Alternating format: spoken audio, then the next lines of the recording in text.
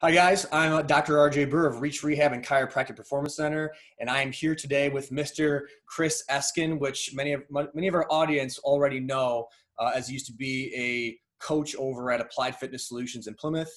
Um, he recently took a job with Exos, um, working through the Henry Ford healthcare system, integrating fitness into the corporate world, working partnering with DTE. Now, did I get that right, Chris? Yeah. So uh, thank you for having me on, Doc. Yeah, for sure.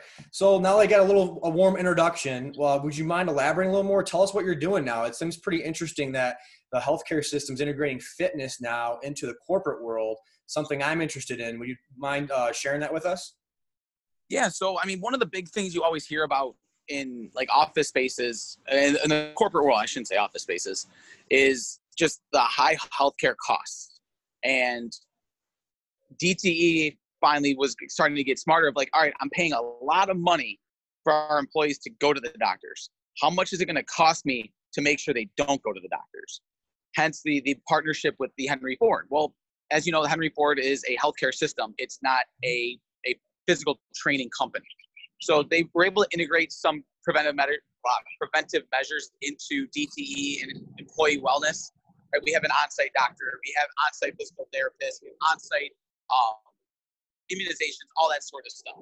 And that's all well and good because it co- it saves the company a lot of money. But where's the preventive measures coming from? Well, that's where we come in. So we've been partnered with Henry Ford now for in the better part of five years in the Detroit area, and what we provide is that fitness aspect, right? The preventive measures before you go to the doctor, right? Everyone hears about that. Like you want to stay fit, you want to stay healthy, so you don't go see the doctor.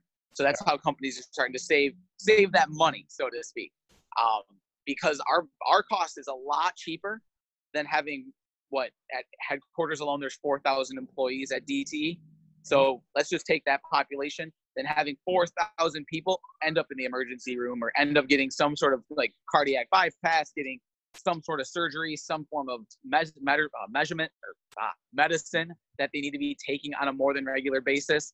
The cost of us was like a third. So like it was a no-brainer decision for them to like, oh, you mean I'm gonna pay people a lot less or pay the company like our insurance a lot less to have fitness in our building? You got it. Like there's no way around it.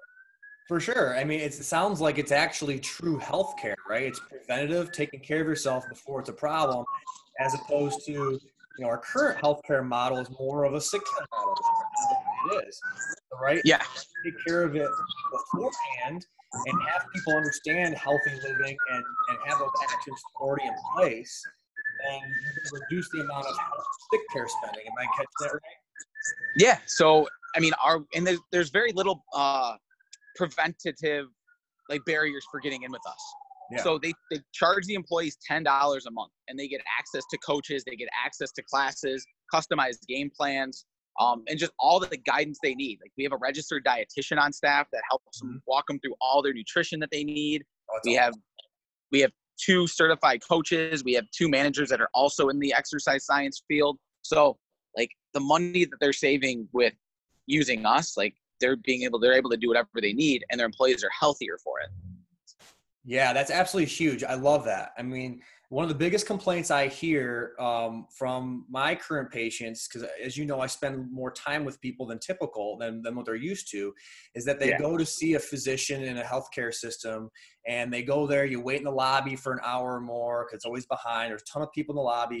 You finally get in there, you see a nurse or someone else, and then when you finally see the physician, it's like for five minutes and they say okay well here's this medication if you need it uh, you know make sure you're eating whole foods and uh, don't smoke and don't drink and blah blah blah. Like all right great. Everyone knows that but there's no facilitator of that process. And that's the hardest part. And people whether they know it or not desperately need that guidance and facilitation because this is another story for a different time. But we don't learn this stuff really in our education system, right?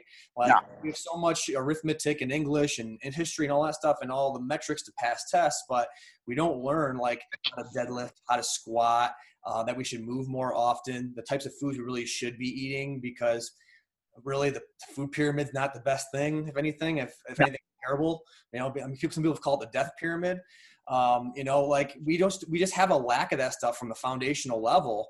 So you know, it's hard to change those things. But um, having a resource like you guys that's huge because now you're a resource to actually get that guidance and facilitation of those things that people so desperately want and need and can't find. So i mean that's just that's it's it's i mean i hate to like use big terms and all that but I, it's it's a it's kind of a game changer man. It's it's a big deal. Oh yeah. It's huge. It's huge and it's been an, ex- an exciting process. Mm-hmm. Wonderful. I love it. Okay. So now working with the population you're working with, I can't imagine everyone's like a high level athlete. You're kind of working more gen pop. Is that correct? Yep. So, I mean, it's, we work with gen pop, but the, the nice thing is we, we kind of follow the idea that everyone's their own athlete. Yes. Right. We're all training for something, whether it be training to not, or be, be able to pick your kids up off the floor and play with them into your 50s and 60s, or like we do have some high level like marathoners that we work with as well. That's awesome. Okay, so that I mean, you're right. I always say that everybody's an athlete. It's just what level of athlete are you, right? So it looks exactly. like you're getting that spectrum, um, which is great. So that way you can um, scale accordingly. It sounds like now. Yep. Let's let's take it to the more of the um, more recreational. Well, actually, you can go across the gamut if you'd like, but I'm thinking more recreational athlete to the Gen Pop. What's the most yep. common injury or complaint that you see, and how could it be prevented? I know it's a kind of a broad question, but you know, if you kind of had to narrow it down to one thing. So it's it's it, is a very broad question. So I mean, I work in an office space, so it's the typical things that we get complaints about. My hips hurt, my back hurts, my shoulders hurt, and my neck hurts. So really, just anything with the torso. That's where we're starting to see see the issue, and it's it's uh, yeah, that's my biggest complaint. No matter what, like yeah, I get complaints of like, oh, my knee hurts or my elbow hurts, but it's always man, my low back's killing me. Oh, my upper back's killing me. My hips hurt. My shoulders are bad. So anything to do with that torso is, is where we're seeing a lot of our issues. Okay, gotcha. I, I mean, as you know, I see a lot of same stuff too, right? We got our our uh, desk jockeys, so to say. Um, yep. Oh yeah.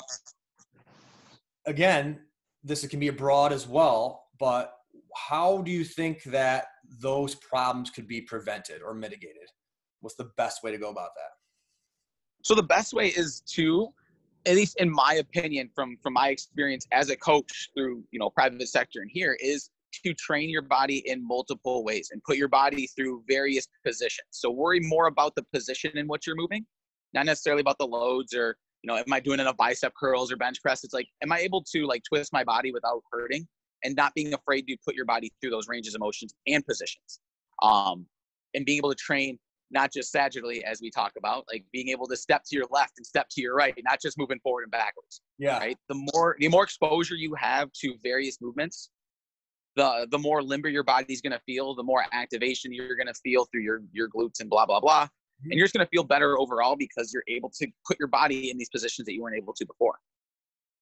Got it. Now so it sounds like what you're saying is that it's movement variability lots of different things and then building that capacity to do it as well. Exactly. Yeah. So uh, that's my long-winded answer. Yeah, 100%. Um, it's yeah, another another way to say it. Okay, cool. I love it. I mean, that's the same thing. Actually, it's funny. I have it sitting right here. I wrote it a while ago just to kind of keep it on my mind all the times. I think it's kind of backwards, but it says uh, variability and capacity. Variability and capacity, right?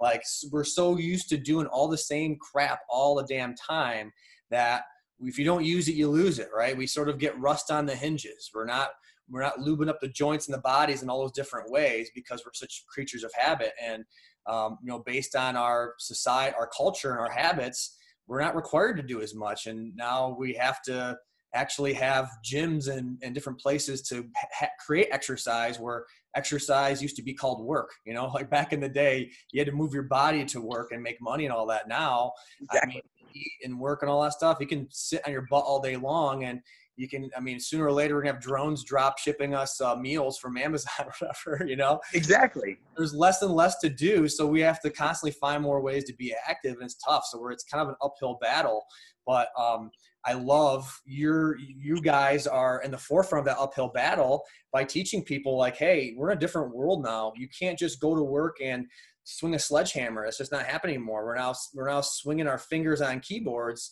more than ever, and especially with Zoom, right? With all this and quarantine and everything else, and and gyms being closed, it's even harder than ever now. Like, it, and people find it hard to do. You know, you can do push-ups and planks, but how long are you going to do that for if you don't have a program or someone to coach you so on and so forth it's just it's become so hard for people to really know what to do and to have you guys as a resource is, is awesome and then speaking yeah. people working at home you told me before we started this recording you're doing some some video recordings uh, so workouts will you tell me a little bit more about that yeah so i mean since quarantine i'll be honest like the only thing that changed about my job is I don't get to go to a beautiful gym every single day. My gym is my basement.